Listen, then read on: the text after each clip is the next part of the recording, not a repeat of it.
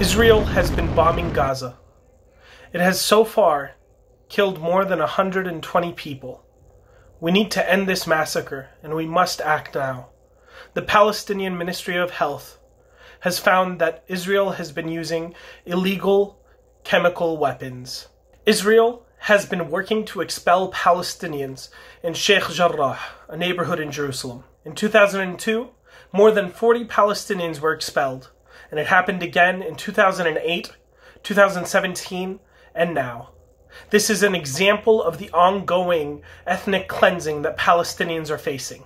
Israeli forces raided Al Aqsa Mosque, one of the holiest places to Islam. It shot rubber bullets, tear gas, and stun grenades at Palestinians gathered to pray during the month of Ramadan. This is not a war. This is indigenous Palestinians struggling against settler colonialism, fighting for freedom, dignity, and self determination. Israel has the fourth most powerful army in the world, and it uses this army against all Palestinians. We Palestinians are living under an apartheid system. We are at the mercy of the Israeli military and their military courts. If we want to travel, we have to get their permission first. There are more than 400 obstacles to Palestinian movement within the West Bank alone. Right now, there are more than 400 Palestinians being imprisoned by Israel without due process and without even getting an accusation. They arrest more than 400 Palestinian children every year. Israel was founded on the ethnic cleansing of Palestinians in 1948 during the Nakba, the Palestinian catastrophe.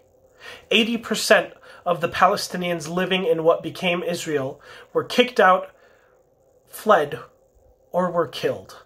The expulsion of Palestinians in Sheikh Jarrah is consistent with Israel's policy of ethnic cleansing and apartheid.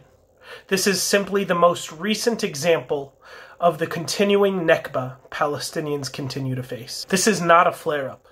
This is the ongoing reality of Palestinians fighting against settler colonialism, ethnic cleansing, and apartheid.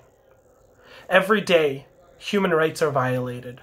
Every day, Palestinians can't control their own destiny. They can't travel freely. They can't use the same roads as Israeli Jewish settlers. Palestinians are living in an open air prison. And we need this to end. We need justice. We need dignity for everyone involved. My name is Lucas, and this was an explanation for what's happening in Palestine for Wayka.